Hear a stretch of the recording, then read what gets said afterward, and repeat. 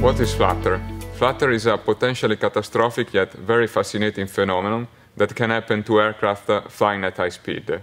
Flutter is one of the most important aspects that engineers have to take care about during the design and certification of the aircraft.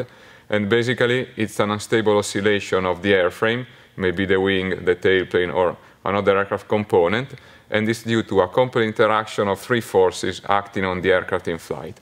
We have the inertia forces due to the mass on the aircraft, the elastic forces due to the airframe, and the aerodynamic forces. The interaction between these three forces generate uh, oscillation, and each force uh, feeds into each other. The aerodynamic uh, forces are generating uh, inertia forces, which in turn are deforming the structure, which in turn uh, will change the aerodynamic forces because of the change in shape. So depending on the characteristic of the aircraft, this may lead to this unstable phenomenon called flutter.